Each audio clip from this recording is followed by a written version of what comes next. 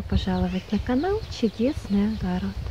Уважаемые зрители и друзья канала, почти на каждом огороде растет этот полезный овощ, как белокочанная капуста. И сегодня мы поговорим о сортах и гибридах белокочанной капусты, которая радует нас урожаем. Для начинающих огородников хочется напомнить, что белокочанная капуста отличается по срокам созревания. Раннеспелая хранится недолго, но лучше всего подходит для свежих салатов и зеленых щей. Многие огородники считают, что раннеспелая капуста быстро растрескивается и подвержена к цветушности, и часто пренебрегают ранними сортами. Мы на своем огороде перепробовали разные сорта и гибриды ранней белокочанной капусты и остановили свой выбор на гибриде из Заполярья от фирмы «Русский огород».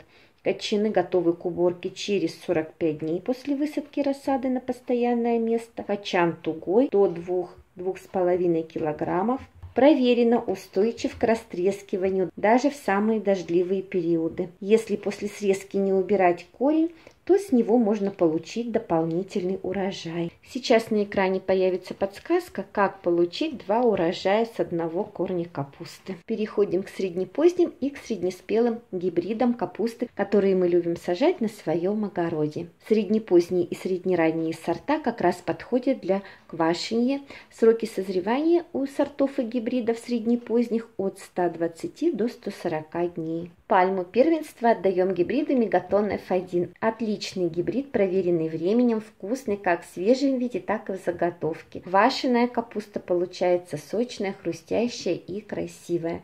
Название говорит само за себя. Кочаны выровненные до 8 килограммов. Хорошо себя показал гибрид Ринда F1.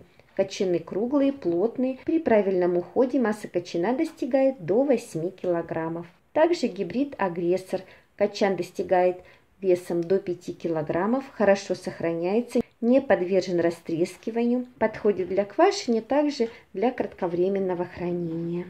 Переходим к поздним сортам и гибридам. Хочется отметить, что поздние сорта и гибриды белокочанной капусты сразу не подходят для употребления и квашения, так как они сахар накапливают в течение хранения. Через месяца два после хранения у поздней капусты исчезает горечь и она прекрасна в любом виде.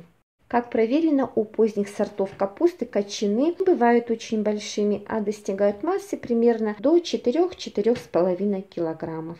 Нам понравился гибрид Амагер. Гибрид прекрасно хранится, кочаны не растрескиваются. Очень хорош для хранения такой сорт, как каменная голова. Капуста вкусная, у нее великолепная лёжкость. В нашем случае кочаны хранились до апреля месяца и не утратили своих вкусовых качеств. Уважаемые зрители, мы каждый дачный сезон экспериментируем, сеем новые для нас сорта и гибриды, но все же остаемся верны выше перечисленным. Еще раз хочется обратить внимание внимание начинающих огородников на сорта и гибриды, о которых мы сегодня упомянули. Уверяю вас, при правильном уходе вы не останетесь без урожая.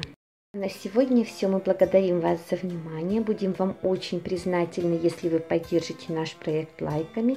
Это позволит другим зрителям ознакомиться с информацией.